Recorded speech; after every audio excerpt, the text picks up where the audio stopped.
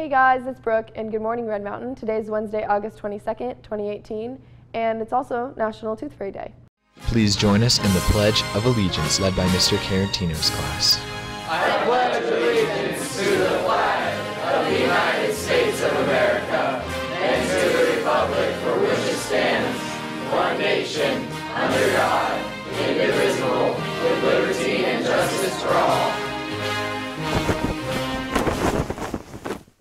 Empowered group meetings will resume on Friday the 24th during fifth hour.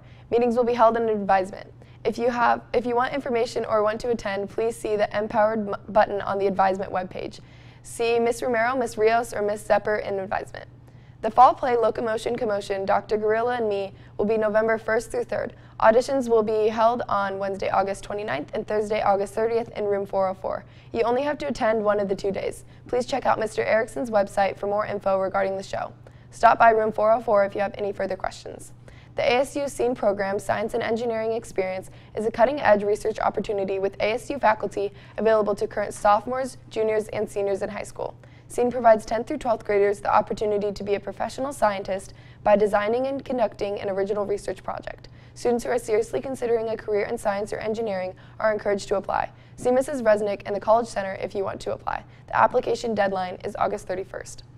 Stainless steel Red Mountain water bottles are on sale in the team shop. $5 off any size, so get them while they last. If you're interested in attending an elite university, then plan on attending the Coast to Coast College Tour on Thursday, August 30th at 7 p.m. It's an evening information program with the admission representatives of Dartmouth College, Northwestern University, Princeton University, University of California, Berkeley, and Vanderbilt University. They will be there to talk about the college process and their respected universities. The meeting will be held at the Doubletree by Hilton Hotel on 2100 South Priest Drive. Class of 2019, come to the College and Career Center in the Commons to sign up for the following college visits to learn more about the colleges that you can start applying to. ASU will be here Monday, August 27th during fourth hour. University of Arizona will be here on Tuesday, August 28th during fourth hour.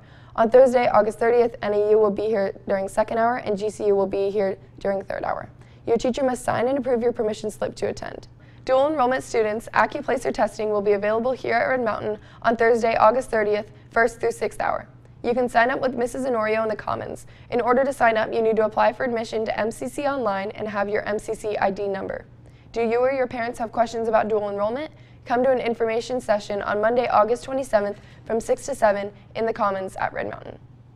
Please remember to pay your class fees, which are due now for first semester.